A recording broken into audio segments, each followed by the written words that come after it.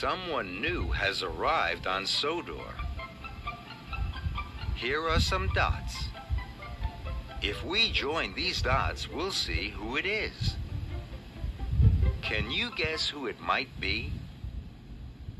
Let's join the dots and find out. Off we go.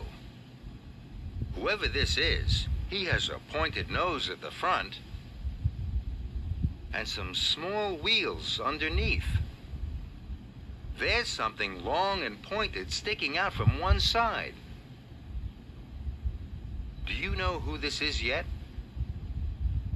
Here's a triangle-shaped tail at the back, and also something sticking out from the other side.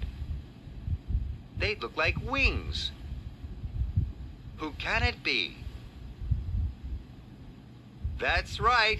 It's Jeremy the plane. Welcome to Sodor, Jeremy.